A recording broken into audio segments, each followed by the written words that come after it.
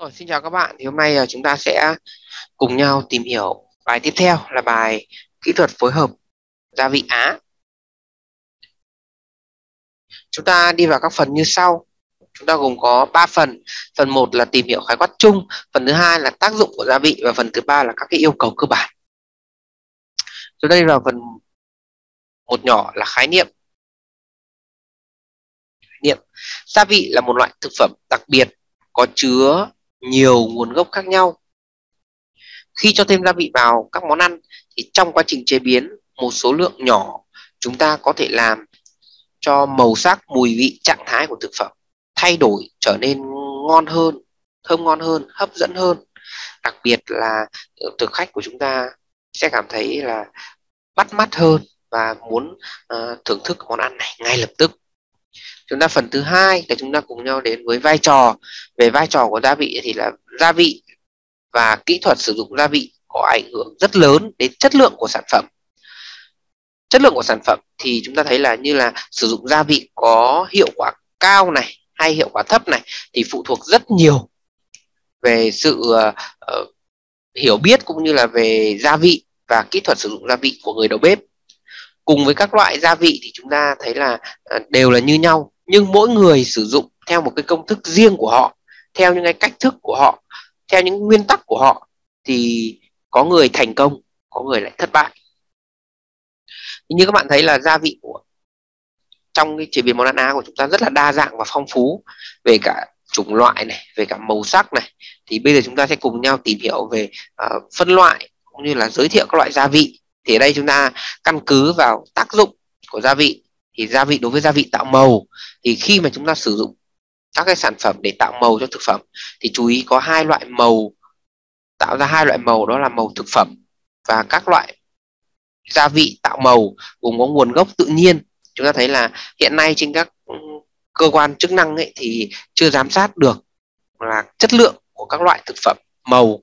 Thì trên thị trường thì chúng ta thấy là tốt nhất là chúng ta nên sử dụng các loại gia vị dân gian uh, có sẵn trong tự nhiên như là uh, nghệ này gấc này hay là uh, các cái màu như là uh, lá cẩm này và một số các loại màu dân gian như là cụ rành rành này. Đấy để chúng ta có thể là uh, sử dụng nó tốt hơn.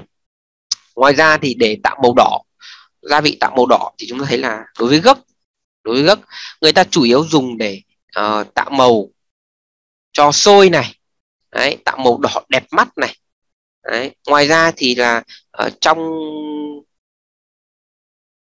gốc thì có chứa nhiều các thì các cái chất này thì chỉ tan trong dầu mỡ. Cho nên khi chúng ta cho vào sôi cho màu vào sôi muốn có màu đỏ đẹp thì chúng ta cho thêm một chút dầu ăn hoặc một chút mỡ. Thì ở đây à, dân gian à, các cụ chúng ta hay sử dụng mỡ gà.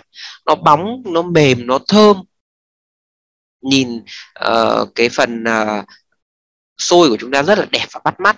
Ừ. ngoài ra thì chúng ta có cũng có uh, những cái nguyên liệu để tạo màu khác như là uh, phẩm hoa hiên thường được mọi người nghiền ra thành bột. Và chúng ta thấy là thường được phẩm hoa hiên màu sắc thì là chúng ta thấy là được tan trong nước màu sắc tan trong nước. Cũng như là uh, nó thường là để nhuộm màu thực phẩm và ờ, trên thị trường hiện nay thì chúng ta thấy là ừ, một số nơi đơn vị chỉ là cấm sử dụng nhưng một số các cái quán ăn hay là cửa hàng nhỏ lẻ thì chúng ta vẫn thấy là họ vẫn sử dụng bình thường để họ nhuộm màu cho các loại chim loại gà để sao mà cho nó bắt mắt hơn nó ngon hơn.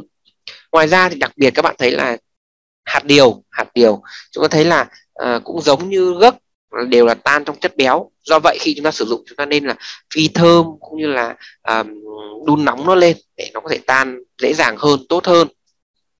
Đối với hạt điều thì chúng ta thấy là chúng ta sử dụng rất nhiều trong các cái món ăn như là món xào đặc biệt là cơm rang chúng ta sử dụng. Rất là uh, nhuần nhuyễn cũng như là uh, thường dùng. Nếu chúng ta uh, thấy là các cái quán cơm như là phở bò hay cơm rang người ta sử dụng rất nhiều. Đấy thêm một cái khác như là ở cà chua ở dưới dạng à, màu tươi ấy, thì chúng ta thấy là dạng dạng tươi thì chúng ta cũng thấy là à, nó cũng để lại cho chúng ta về màu sắc màu sắc cũng như là à, khi mà cần làm chín đấy trong chất béo ấy, thì chúng ta thấy là sắc tố của cà chua tạo màu rất là đẹp tạo màu rất là đẹp. Ngoài ra thì chúng ta còn một số các loại thực phẩm khác. Cái này thì các bạn sẽ tìm hiểu thêm và đưa ra các cái ví dụ thêm cho thầy về màu đỏ lấy ví dụ thêm. Sau đó chúng ta sẽ nộp bài lại trong cuối sau khi mà bài này chúng ta kết thúc. Rồi sau phần thứ hai là gia vị tạo màu vàng.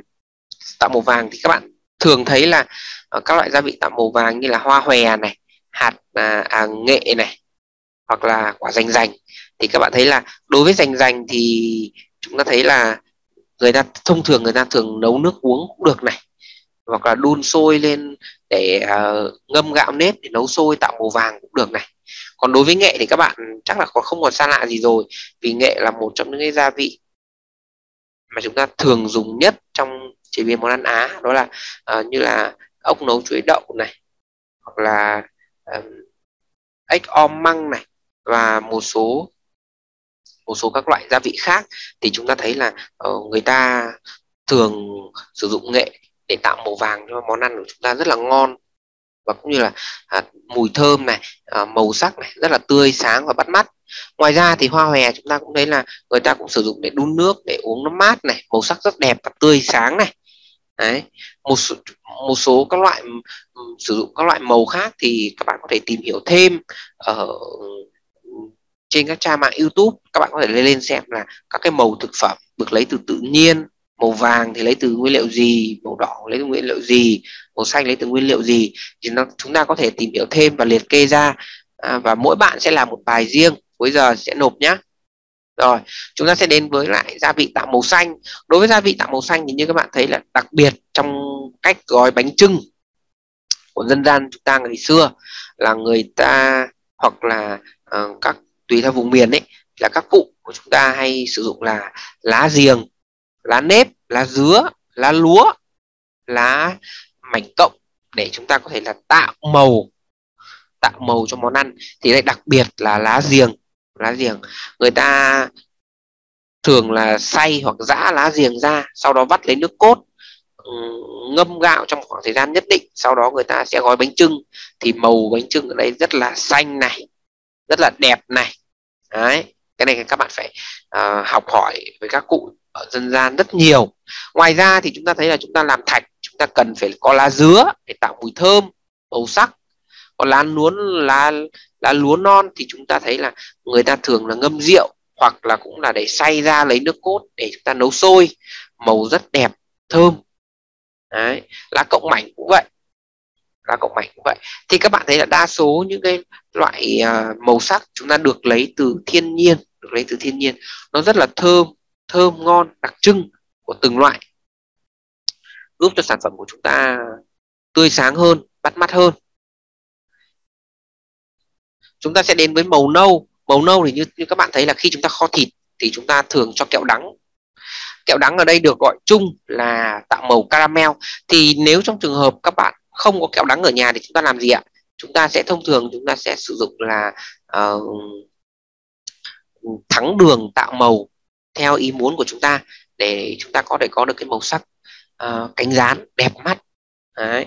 ngoài ra thì chúng ta thấy là cà phê hoặc cacao cũng đều tạo màu um, cho món bánh của chúng ta được Đấy. ví dụ như là chúng ta uh, đun cà phê uh, ủ cà phê thì các bạn biết cà phê là màu nâu rồi này hoặc là bột bột cacao này thì chúng ta thấy là bột cacao ở đây là người ta thường xuyên người ta sử dụng để làm và chế biến các loại bánh có màu nâu nó rất là đặc trưng. Đấy. các bạn cái này các bạn cần phải lưu ý và uh, học hỏi cũng như là đọc thêm rất nhiều sách để chúng ta có thể là kết hợp các loại màu sắc với nhau để sao cho tạo màu chúng ta tạo màu tạo và tạo ra những cái bảng màu nó đẹp hơn nó bắt mắt hơn. Thêm một cái nữa là gia vị tạo mặn tạo vị mặn. Thì như các bạn thấy là gồm có nước mắm này hình ảnh đầu tiên là chúng ta có nước mắm nước tương. Nước tương chính là cái tương bần nổi tiếng của hưng yên đấy ạ thêm một cái nữa là muối hạt về khu vực nam định. Hai là về xì dầu. Cái cuối cùng là xì dầu. Ở đây bốn cái này đều có vị mặn khác nhau. Hương vị, màu sắc, trạng thái đều khác nhau. Một cái là chất lỏng, có vị mặn và độ đạm rất cao. Tương bần thì lại là sánh sệt. Muối là dạng hạt cứng xì dầu là dạng sánh mượt. Đấy.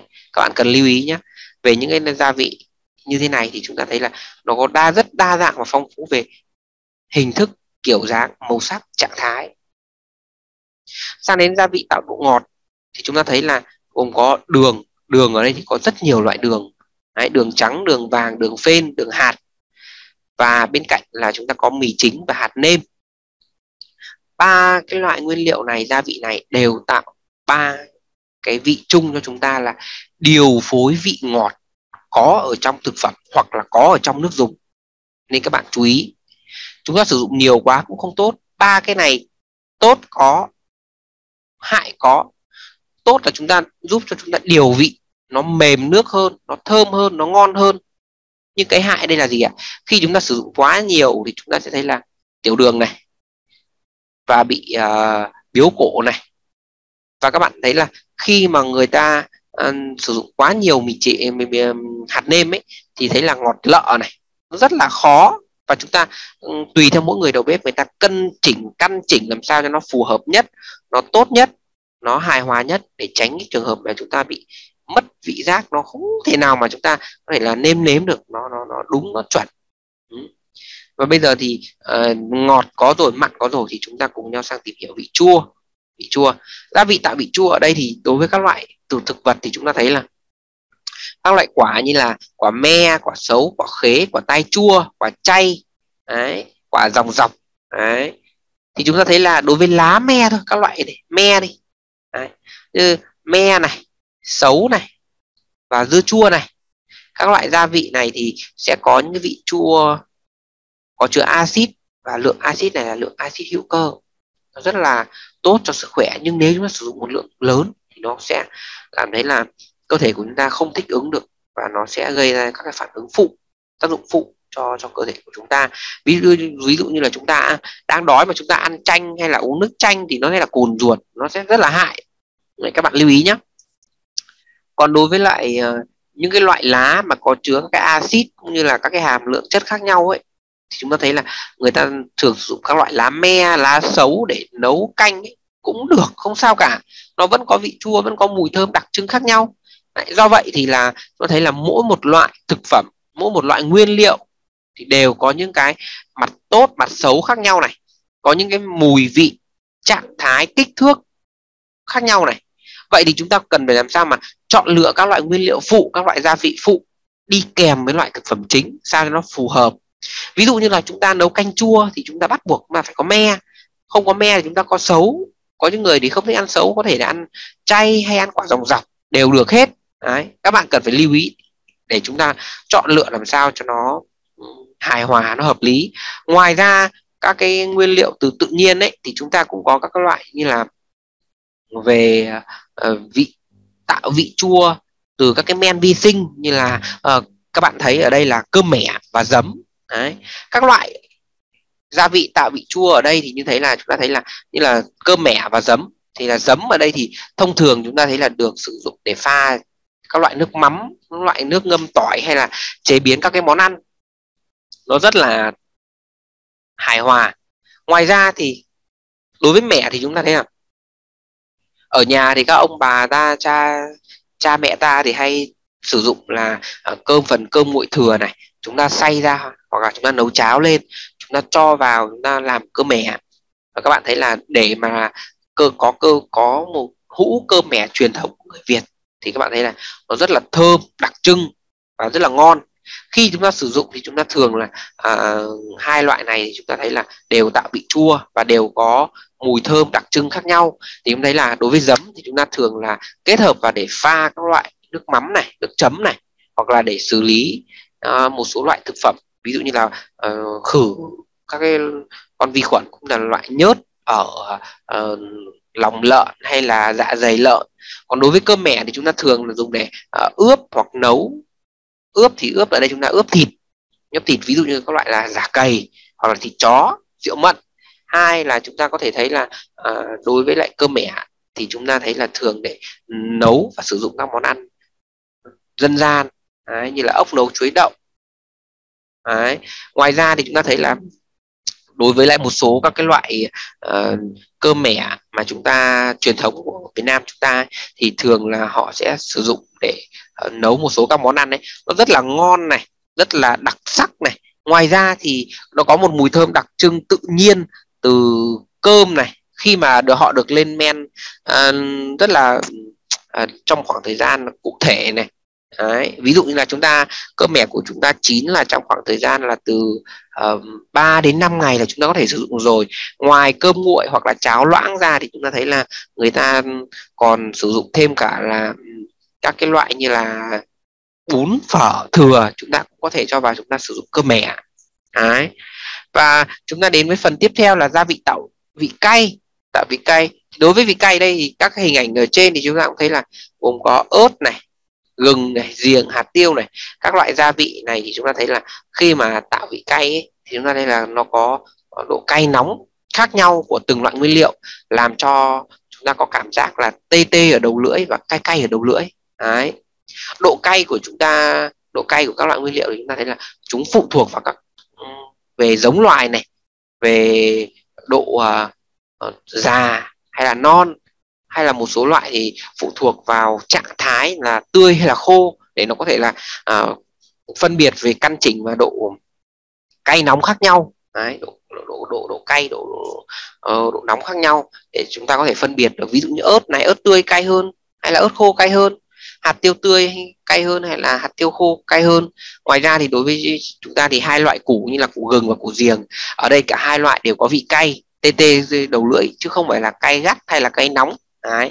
đặc biệt cay nóng thì chúng ta thấy là có tiêu và có ớt là hai loại nguyên liệu là nổi bật nhất và chúng ta sẽ cùng nhau tìm hiểu sang vị đắng vị đắng một số loại gia vị vị đắng thì chúng ta thấy là uh, đắng chát thì các loại nguyên liệu ở đây như là uh, lá chè lá mơ lá ổi hoặc là quả sung quả chuối thì chúng ta sẽ thấy là các loại quả này thì là uh, thường là có, có tác dụng khử mùi tanh, mùi hôi của thực phẩm.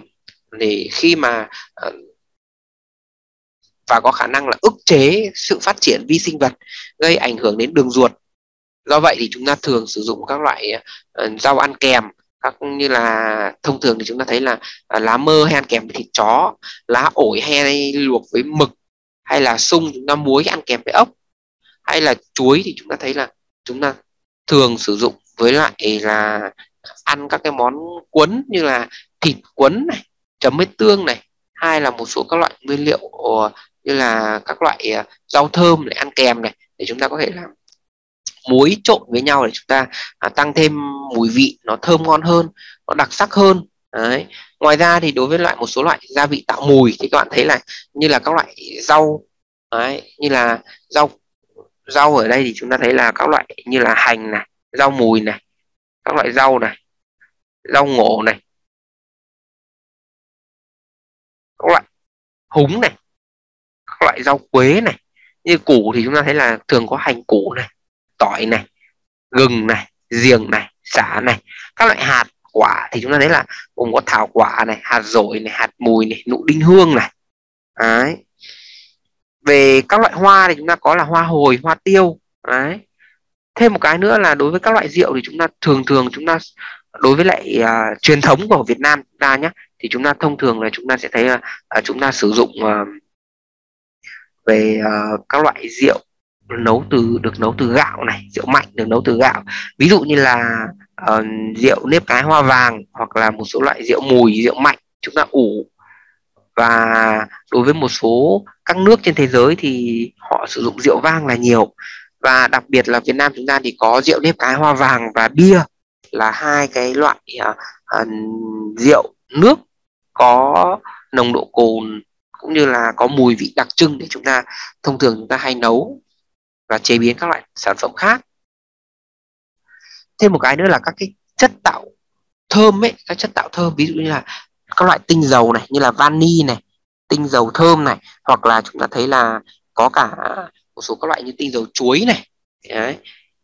như các bạn thấy thì là để mà chúng ta kết hợp làm sao cho nó uh, hài hòa về màu sắc mùi vị thì chúng ta cùng nhau sang cái tác dụng của gia vị.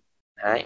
đầu tiên thì chúng ta sẽ đến là à, làm tác dụng của gia vị. Đầu tiên là về tạo màu sắc cho món ăn.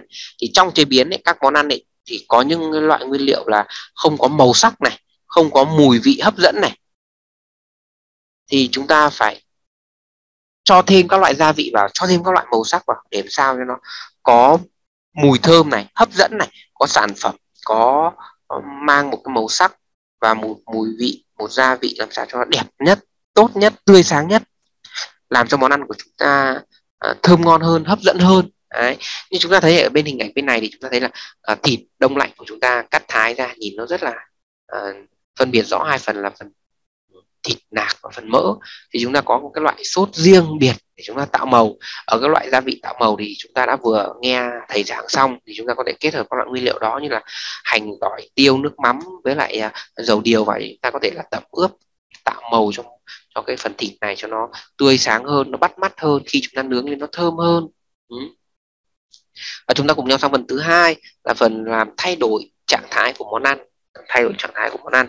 Thì khi các bạn sử dụng các loại gia vị ấy, thì để chế biến như là ngoài tác ờ, dụng làm thay đổi mùi vị của món ăn có một số loại gia vị cũng như là trong bản thân chúng thì có chứa các cái chất có chứa các cái tác dụng um, có chứa những cái uh,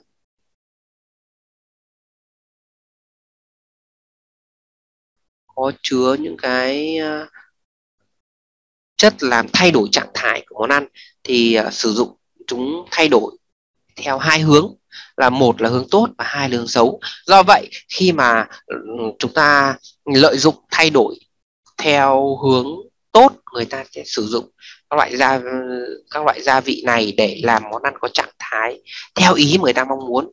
Hai là làm về uh, hướng xấu thì người ta thấy là ừ, người ta không thể nào mà người ta làm ra món ăn nó đúng cái mùi vị đúng cái trạng thái này được. Đấy, và nó không theo ý của họ mong muốn thì ừ, chắc chắn một điều là gia vị của chúng ta và cái cách kết hợp của chúng ta chưa đạt đến cái cái cái cái, uh, gọi là trạng thái là over nhất. Đấy. cái thứ ba là chúng ta làm tăng về giá trị dinh dưỡng của món ăn. Thì đầu tiên chúng ta thì chúng ta có các cách đầu dòng như sau là trong bản thân các loại gia vị đã có chứa rất nhiều các chất dinh dưỡng. Đấy. ví dụ như là nước mắm này thì các loại nước mắm có chứa các chất đạm động vật ở dạng đơn giản như là axit amin hay là pectin hoặc các chất loại chất khoáng. Đối với xì dầu thì có chứa rất nhiều các chất đạm từ thực vật ở dạng đơn giản như là muối khoáng. À, tương thì chứa cả đạm thực vật đường và muối khoáng.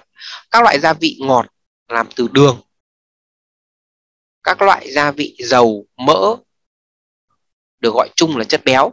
Các loại gia vị tươi như hành, hoa, kinh giới, chanh có chứa nhiều vitamin C. Các loại gia vị này thì khi mà cho thêm vào món ăn thì chúng ta sẽ bổ sung các chất dinh dưỡng làm sao cho nó nó hài hòa nhất. Nó ờ, cung cấp đủ các loại về gia vị này, màu sắc, trạng thái, làm sao cho món ăn nó hợp lý nhất và hài hòa nhất thêm một cái nữa chúng ta sang phần thứ ba là các cái yêu cầu cơ bản trong kỹ thuật sử dụng gia vị. Ở đây thì chúng ta thấy là uh, khi mà sử dụng gia vị đúng liều lượng khi mà sử dụng gia vị đúng liều lượng khi mà sử dụng gia vị đúng liều lượng mỗi một thực phẩm chúng ta mỗi một thực phẩm khi chú khi chúng ta cho gia vị vào ấy thì kết hợp gia vị vào ấy chúng ta sẽ ảnh hưởng đến chất lượng này ảnh hưởng đến các cái cảm quan của món ăn. Cho nên chúng ta chủ động đủ lượng gia vị tránh bị mặn này tránh nhạt này đỡ không đồng đều này thì ở đây các bạn thấy là khi chúng ta tẩm ướp một bất kỳ một loại gia vị nào thì chúng ta đều phải là bóp để cho nó ngấm gia vị này cho nó đều gia vị này. Hai là chúng ta thấy là uh, chúng ta cần phải để trong một khoảng thời gian nhất định để cho uh, thực phẩm của chúng ta nó được ngấm gia vị.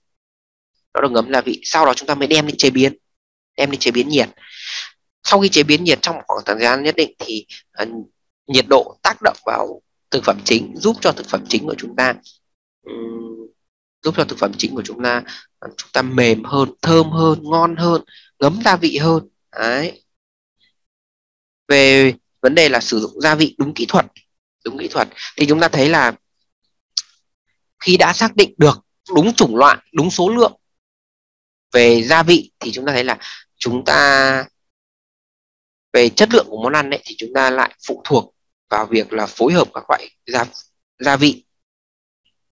Phối hợp các loại gia vị. Trong đó trong quá trình chế biến thì chúng ta thấy là à, nó hài hòa về cả mặt hình thức cả mặt kết cấu của món ăn cả mặt kết cấu trạng thái của thực phẩm giúp cho món ăn của chúng ta à, có màu sắc này, có mùi vị này, có trạng thái này. Ba cái này là ba cái yếu tố mà không thể nào thiếu trong một món, trong một món ăn à, hoàn chỉnh khi mà chúng ta sử dụng các loại gia vị kết hợp với nhau, đặc biệt là các cái món ăn nướng. Theo cũng như các bạn thấy là đối với các món nướng ấy, thì chúng ta phải tập ướp rất nhiều các loại gia vị, tạo mùi này, tạo màu này, để giúp cho khi mà chúng ta nướng hoặc là tác động nhiệt vào cái món vào cái nguyên liệu này ấy, thì chúng ta thấy là nó tạo ra mùi thơm trước này tạo ra màu sắc này. Đấy. Thêm một cái nữa là chúng ta thấy là nó có rất rất nhiều các cái à, hình thức trạng thái làm sao mà à, chúng ta có thể là chế biến cùng một lúc. Ví dụ như là chúng ta có thể ướp thịt này ướp lòng này uh, ướp các loại hải sản này nhưng mà chúng ta chế biến làm chín cùng một lúc đều kết hợp được. Vậy thì khi chúng ta kết hợp ra các loại gia vị cũng thế cũng như vậy chúng ta kết hợp các loại gia vị cơ bản đơn giản để tạo nên một cái loại sốt này hoặc là loại nước chấm này làm sao cho nó phù hợp nhất với một loại thực phẩm chính. Tại ví dụ này tại sao món nem của chúng ta lại phải chấm với nước mắm chua ngọt? Đấy. Ngoài ra thì tại sao là khi chúng ta ăn ốc lại phải chấm với lại mắm gừng? Các bạn các bạn phải đặt ra một câu hỏi là tại sao uh, từ xa xưa đến hiện đại các cụ của chúng ta ừ, lại có những cái những cái cách kết hợp gia vị cũng như cách kết hợp các loại nguyên liệu nó với nhau nó rất là hợp lý. Ví dụ như là con gà thì cũng tác lá chanh con lợn cũng ít mua hành cho tôi. Ở đây thì như các bạn thấy là con gà cùng tác lá chanh thì gà luộc bắt buộc phải có lá chanh và thịt gà chỉ có thể đi với lá chanh thôi. Nó mới thơm ngon nhất nó mới ừ, tôn được lên cái vị ngọt tôn được lên cái mùi thơm của, của, của món ăn hai là chúng ta uh, sẽ thấy là cái câu ca dao là con lợn của ít mua hành cho tôi. Thì thịt lợn ở đây nếu mà rang trái cảnh hoặc là xào với hành khô thì tuyệt vời.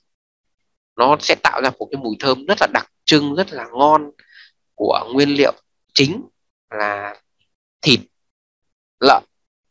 Ở đây bài học của chúng ta kết thúc tại đây về cái cách phối hợp gia vị cũng như là xử lý về nguyên liệu màu sắc các bạn sẽ có bài tập này gồm có bốn bài tập này, và các bạn liệt kê ra các cái, một số, liệt kê thêm thôi nhé một số các loại gia vị, cũng như là các loại nguyên liệu tạo màu từ thiên nhiên. Thì thầy sẽ ừ, cộng điểm cho các bạn trong các cái bài kiểm tra 45 phút sắp tới thì thầy sẽ cộng điểm cho các bạn. Nếu bạn nào làm tốt thì các bạn có thể là nộp bài luôn cũng được hoặc là các bạn uh, mai các bạn nộp bài hoặc là buổi sau các bạn nộp bài cũng được.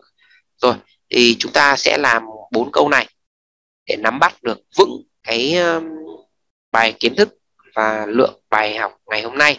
Thì bài học đến đây là kết thúc. Xin chào và hẹn gặp lại các em trong bài sau.